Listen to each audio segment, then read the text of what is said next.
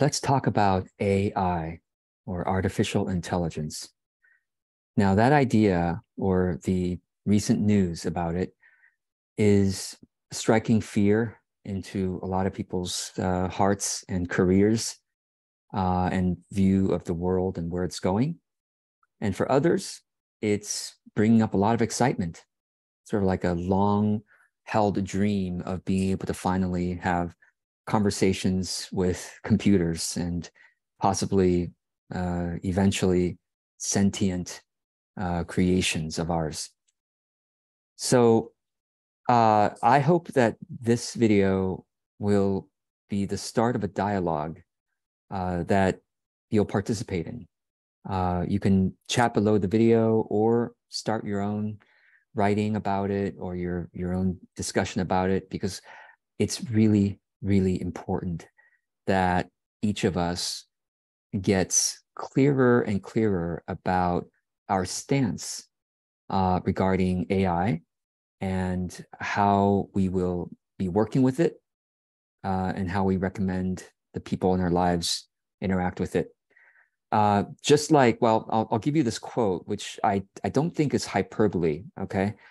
Time magazine recently wrote this this shift, the AI revolution, marks the most important technological breakthrough since social media.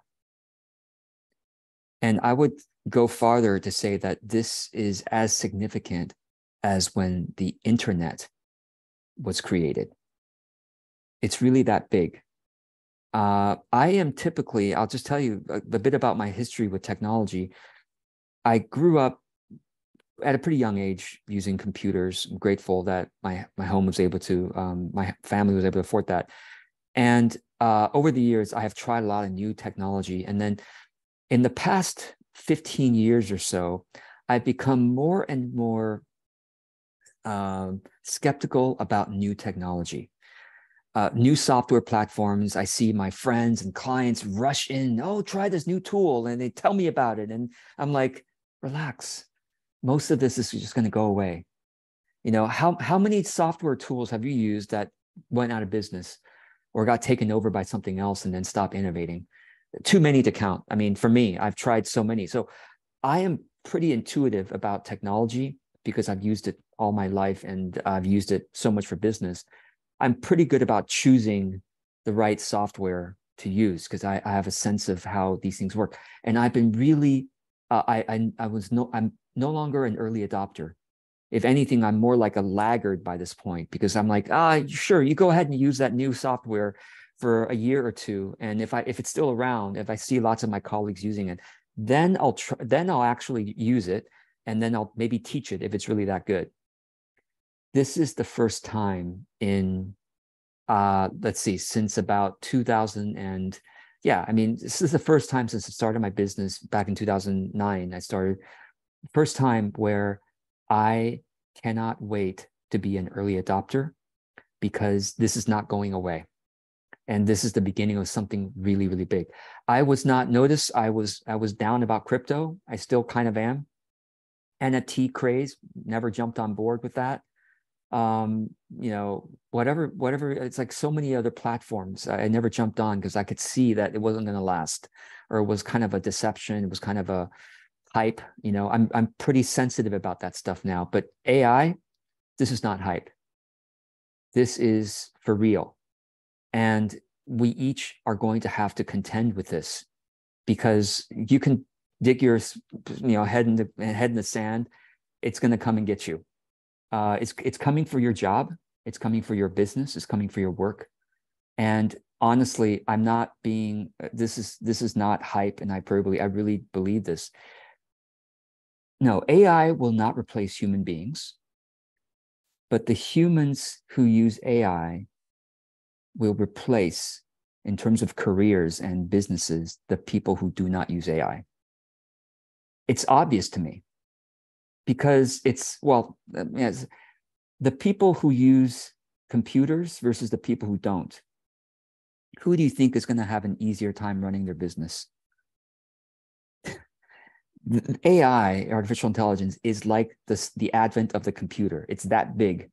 and you could decide, well, you know, and and and and very importantly, it's growing and improving like a thousand times faster than the development of the computer. That's why I'm jumping on now because every month major developments are happening ever since I can't believe this, but ChatGPT only came as of this recording, ChatGPT only came out four months ago.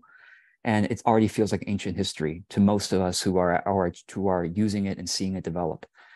Um, by the time you watch this, it, I don't know when you're watching this. Hello, future people, but this is going to seem quaint probably in two or three months, this video.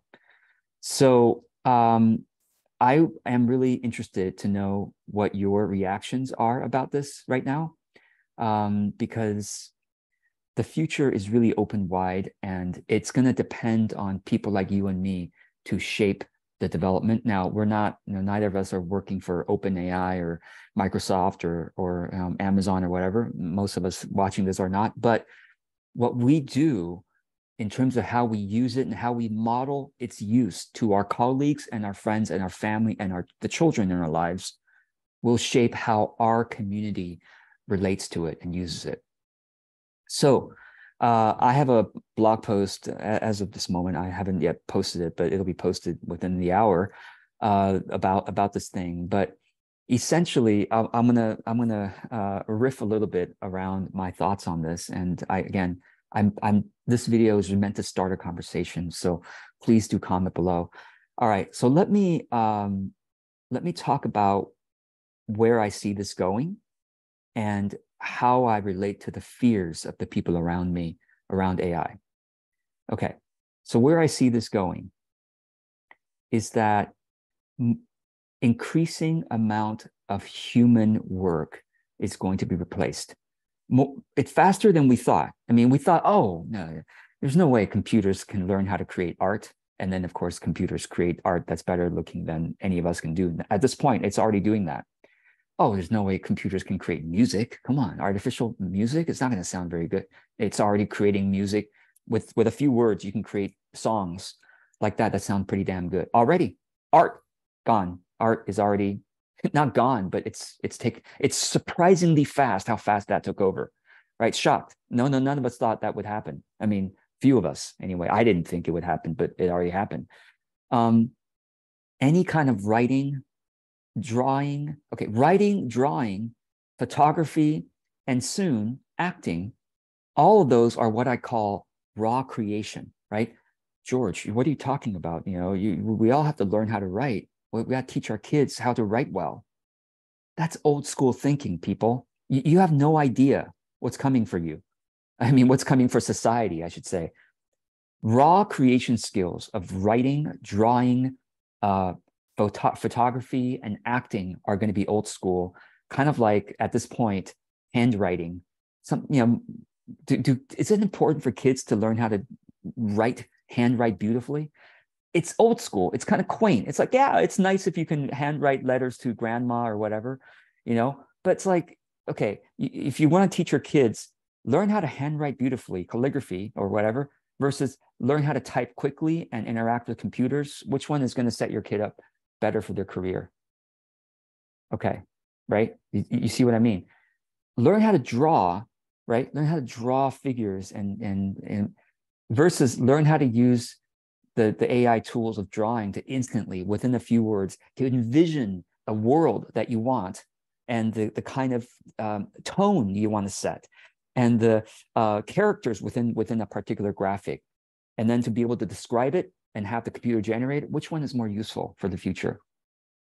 Writing, drawing, old school. If, if I had kids, and I, I just, it's unbelievable to me that schools just a month or two ago were trying to ban ChatGPT when I saw that happen immediately, and lots of people are like, "That's right, we should ban ChatGPT." I'm like, "Are you you you're not you, you're talking about banning computers? That's you're talking about banning like Wikipedia or a calculator or internet searches.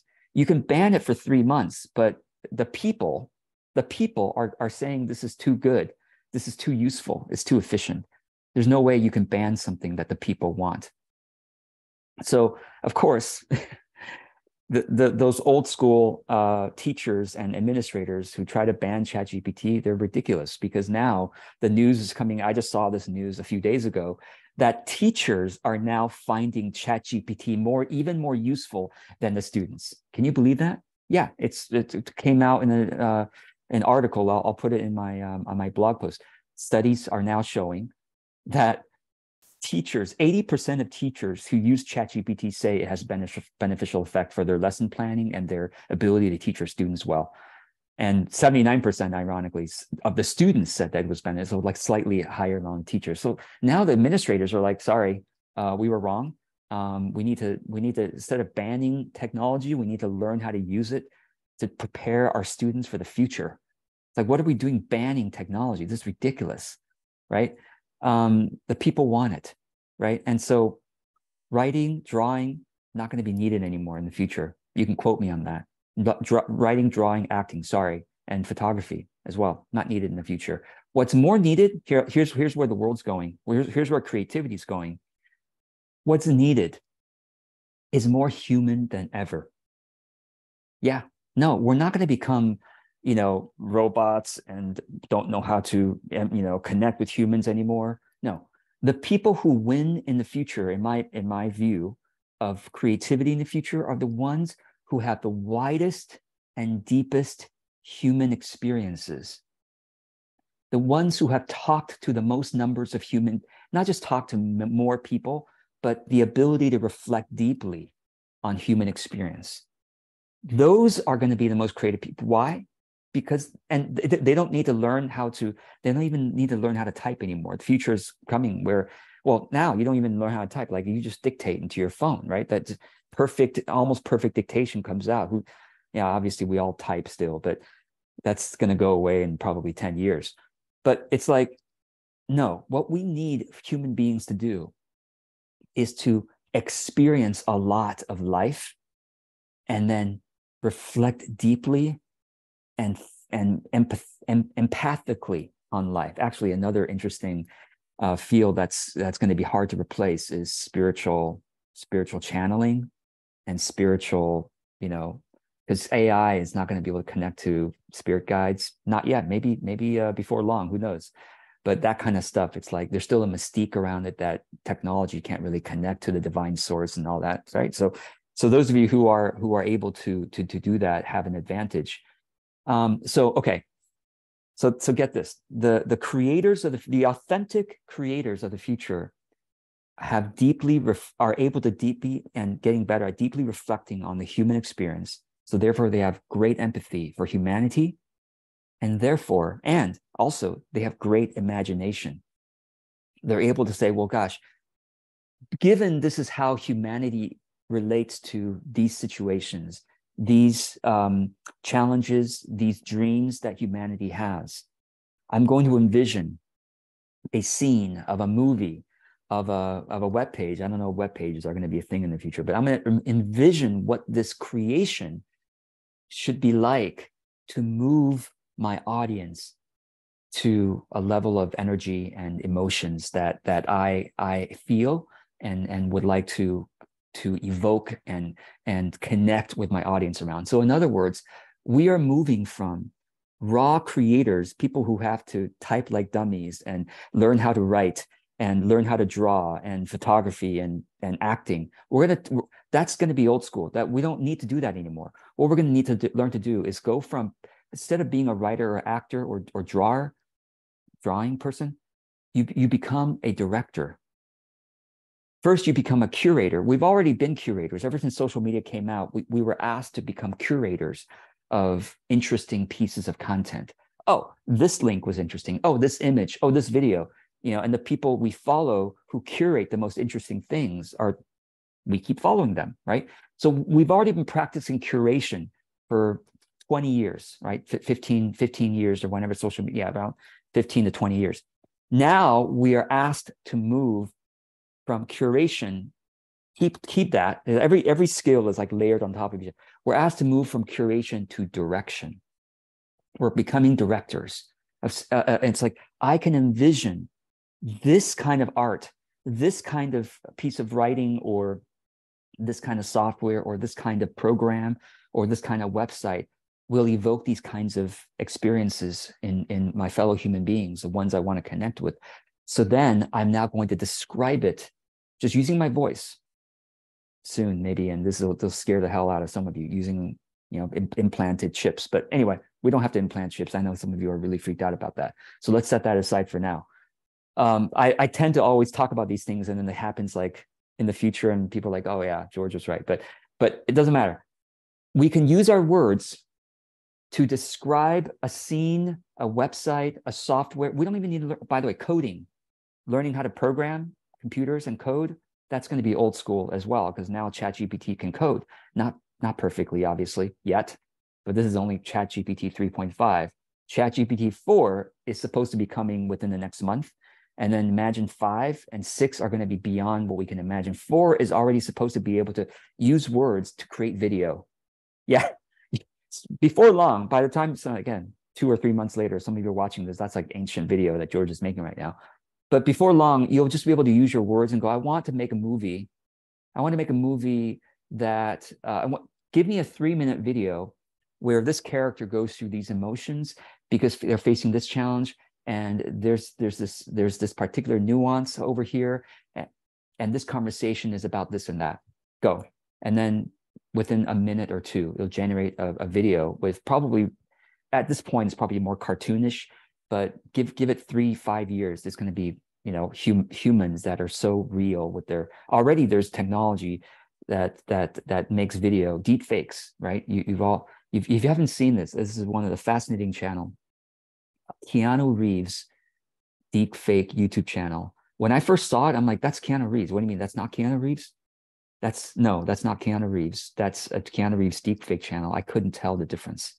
So that's technology is already available, but in the next like one to three years, it's going to be democratized, which I know a lot of us are freaked out about the politics of it because now politicians can be deep faked and and uh, you have to have technology to be able yeah ironically technology to be able to d- detect the deep fake. So it's always going to be this war between you know the, the the the, the technology that creates human like experiences and the technology that says oh that was created by a robot and it's just going to be like this. It's it's like spam has has been right? Spam people get clever about spam and they have spam detectors and they just forever for the rest of you know existence just continue to to to try to one up e- each other. So long story short okay uh, i am going to end this video. It's getting too, too long here.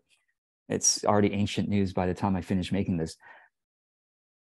We need to learn how to work with it rather than bury our heads in the sand um, it's not going the genie's not going to go back in the bottle and um, oh let me let me say one more thing to end it in terms of spirituality okay some people think oh AI is going to make us less human or less spiritual. I'm like, baloney. No, what, what are you talking about? Did, did, did, um, it's not about, well, I, did, I was going to say, did, did the computer make you less spiritual? I don't know. Did it? It's a good question. Humanity will always adapt. You, I believe you will always adapt if you value your spirituality or your connection with other human beings, it's a, it depends on how, what you value, number one. And number two, it depends on your boundaries that you set with yourself and with technology. Social media, did it make you less social? I don't know, did it? I mean, most of you watching this and interacting with me on a day to day basis, I wouldn't have met except through social media. Did it make me more or less social? It made me way more social. I'm talking to people way more than I would have without social media. At people that are much more interesting to me than my neighbors and the people I would have met just walking along this uh, along the street. Social media made me more social. Um, now I, I'm touching flesh less often, right? Hugging, giving people real hugs less often. You could say there's a problem there, but doesn't matter. Here's the bottom line: technology will make you more spiritual if you allow it to. It'll make you more soulful and connected to the divine source and be able to be saved into the soul, you know, into the merge into divine source. If you allow it, just like social media, did it make you more or less social? You answer that question because it's about your values and it's about your own the ability to keep boundaries with yourself and with technology. So will, will AI make us more or less creative? Obviously, I'm going to let it let, let it make me more creative because I'm going to become a director now rather than oh my god i have to find the right wording for this thing or oh i got to learn how to design uh, design graphics now. No i don't have to learn how to do any of that right? I believe ai will make me more spiritual because why? It will free up so much damn time it'll free up so much more brain power that went into learning how to type better and write and design and and and build a business. Ai is going to do a lot of the business coaching for you. I'm i'm going to be out of a job before long.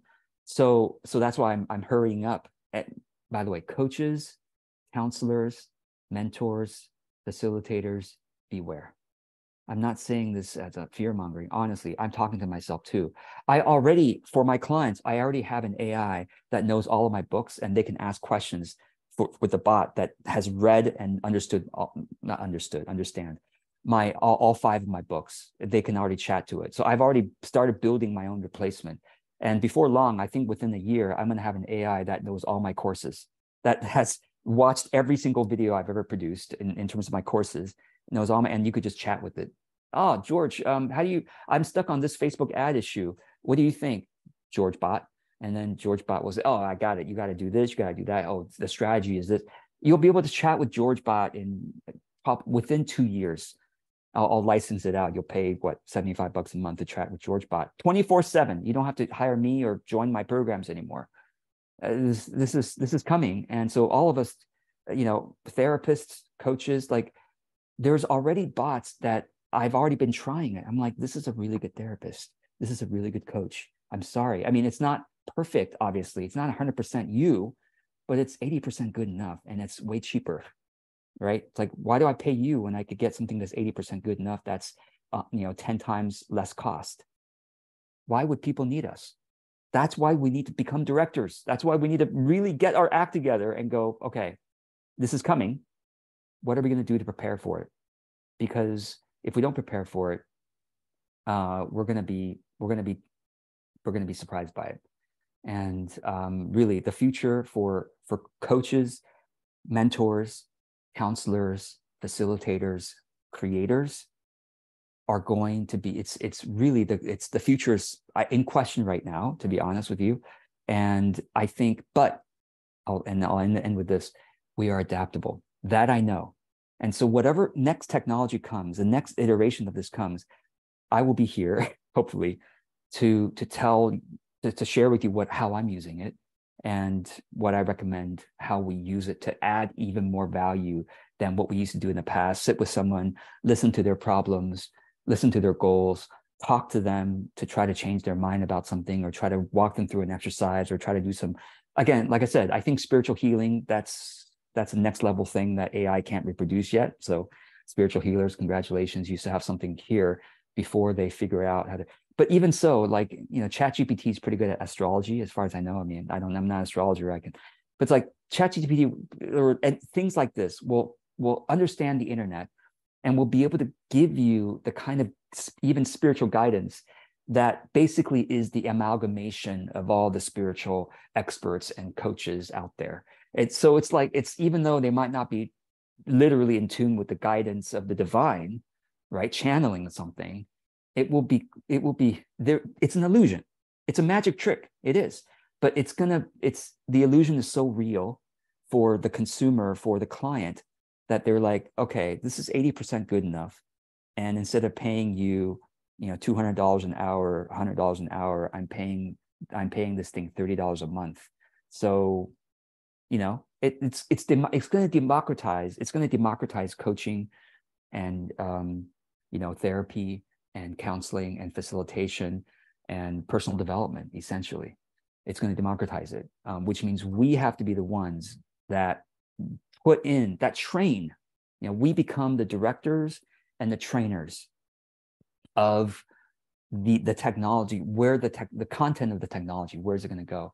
So um I think basically it, the, the, this is either as scary as you want it as, as you want to believe. It's also as exciting as you want to believe. It's how you want to take it.